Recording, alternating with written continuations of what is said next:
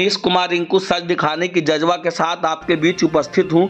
यदि आपने अभी तक हमारे चैनल सच की आवाज़ को सब्सक्राइब नहीं किया है तो पहले सब्सक्राइब कर बेल आइकन दबा लें, ताकि समय के साथ आप तक हमारी खबरें पहुँच सके। आइए खबरों पर डालते हैं एक नज़र। सावन माह में देवघर में बाबा भोलेनाथ पर जलाभिषेक को लेकर सुल्तानगंज में जल भराई पर श्रद्धालुओं की उमड़ी भीड़। सावन मास को लेकर इन दिनों देश भर में श्रद्धालुओं में देवघर की नगरी में जलाभिषेक को लेकर विशेष उत्साह देखा जा रहा है।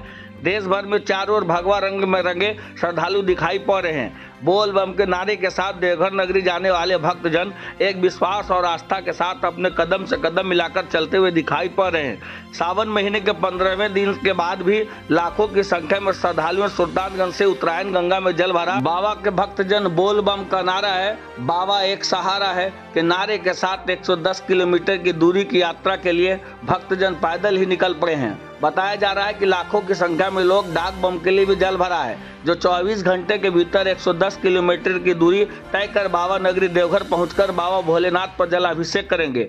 गौरतलब हो कि बिहार के सीमा क्षेत्र में श्रद्धालुओं को कोई परेशानी न हो, जिसके मद्देनजर बिहार सरकार के द्वारा प्रति 500 मीटर पर पीएचडी की देखरेख में शौचालय स्नानगार एवं चिकित्सा केंद्र की व्यवस्था निःशुल्क कराई गई है। और तो और उस उक्त पद पर कई निजी संस्थाओं एवं स्वयंसेवी संस्थाओं के अलावा ट्रस्ट के माध्यम से सेवा शिविर लगाया गया है, जो देश भर में बाबा नगरी जाने वाले लोगों को निःशुल्क सेवा प्रदान कर रही है। बताया जा रहा है कि लाखों की संख्या में प्रतिदिन श्रद्धालु उत्तरायण गंगा से जल भरकर देवघर के लिए प्रस्थान कर रहे हैं। कुल मिलाकर इन दिनों संपूर्ण क्षेत्र भक्तिमय बना हुआ दिखाई पड़ रहा है। वहीं दूसरी ओर पटना सिटी से चौवन फीट का कांवर लेकर चले श्रद्धालु, मुख्य रूप से देवघर नगरी जाने वाले लोगों के लिए आकर्षण का केंद्र बना हुआ दिखाई पड़ रहा है।